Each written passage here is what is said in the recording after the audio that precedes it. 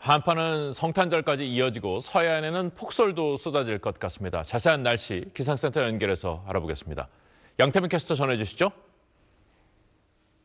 네, 오늘은 1년 중 낮의 길이가 가장 짧다고 하는 절기 동지인데요. 겨울색이 짙어지는 이 시점에 맞춰서 강추위가 다시 찾아왔습니다.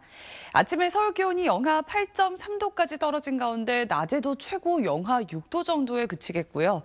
심지어 내일은 아침 기온이 영하 14도로 이번 한파의 절정을 이루겠습니다. 성탄절인 주말까지도 영하권의 맹추위가 계속해서 이어지겠습니다.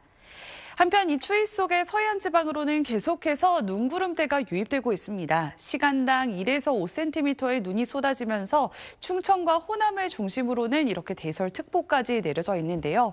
앞으로도 많은 양이 예보돼 있습니다. 모레까지 제주도 산지는 무려 50cm 이상이고요. 호남 지방에도 많게는 30cm가 넘는 눈폭탄이 쏟아지겠습니다. 강하고 길게 이어지는 눈에 대비하시는 게 좋겠습니다. 한편 오늘 영동 지방은 대기가 건조한 가운데 바람이 강하게 불겠습니다. 낮 기온은 서울이 영하 6도, 대전이 영하 2도로 대부분 영하권에 머물겠습니다. 이번 날인 모레면은 서쪽 지방의 눈이 모두 그치겠고요. 성탄절 당일은 맑은 가운데 춥기만 하겠습니다. 기상센터였습니다.